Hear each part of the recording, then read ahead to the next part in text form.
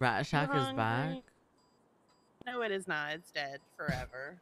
What is this picture of uh, Rex? Wait. Rexarius Brachymist has a Hydra flag on his face. okay. Mr. Brachchimus has always been hanging out with them. I didn't know he was actually them. I just assume all them bitches are them.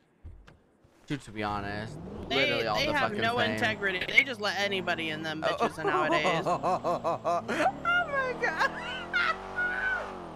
What? It's like us in the police force. We pretty much let anybody in these days. I'm gonna piss myself. I'm